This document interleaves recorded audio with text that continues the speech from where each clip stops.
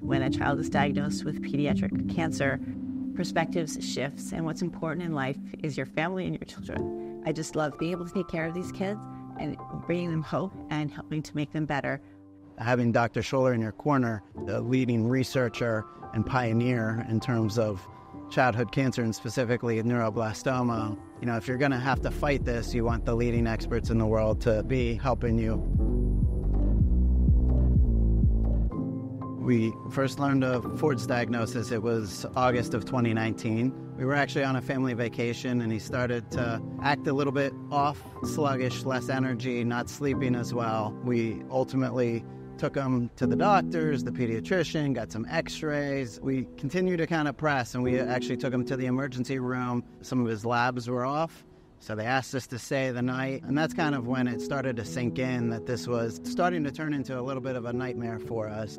They confirmed that Ford did have neuroblastoma. Never could have imagined what was our healthy, full of energy, rambunctious two and a half year old facing something like that. It really kind of just hit us out of out of nowhere. Neuroblastoma is a pediatric cancer that happens in children on average about five years of age and younger. Most people think it's a brain tumor, but it's not. It is a tumor of the nerves, but outside the brain, so along the spinal cord. So it's a very aggressive cancer that requires high dose chemotherapy, followed by surgery, bone marrow transplants, immunotherapies, radiation therapies to try and get them into remission. We were into this treatment and into this fighting this journey for some time. We had continued to see Dr. Sholler's name. Then we learned that Dr. Sholler was relocating to Penn State and being from Pennsylvania, that lined up with around the same time Ford had unfortunately his third relapse. With neuroblastoma, we have to think outside of the box. DFMO is a drug developed by Dr. Sholler and her team and something made available to Ford through her clinical trials. Shortly thereafter, the FDA approval came. DFMO, its generic name, Iwilfin being the brand name, is a drug that targets the cancer stem cells. So those cells that hide in the body after a child is finished with their treatment and then six months, a year later, will cause a relapse. So you can see right in the bottom the white haze. Those are the neuroblastoma cells. So instead of about 30 to 40% of children relapsing, now we're seeing only 15%. What's most scary for parents and obviously for children that are the patients, what was traditionally with neuroblastoma a high percentage chance of relapse. The question is, okay, we finished the therapy. It's, you know, remove the cancer. We're all really excited, but we're all kind of like, what's next? And so DFMO is that drug, it's that extra cushion or security blanket.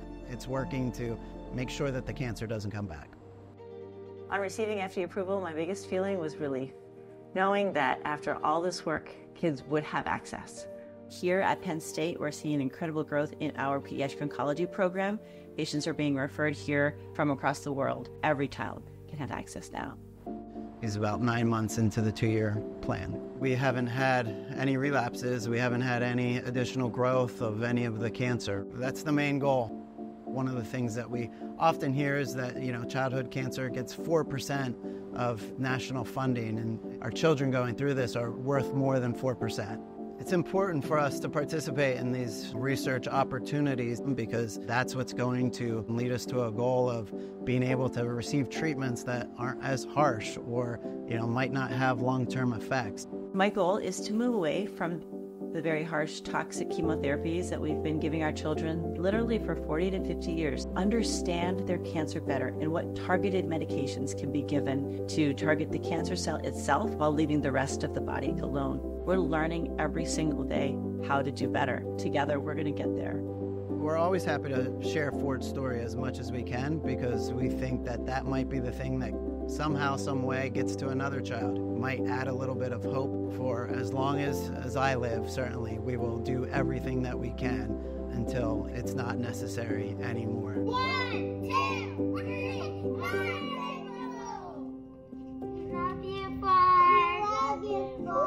We won't be done working until every child is cured.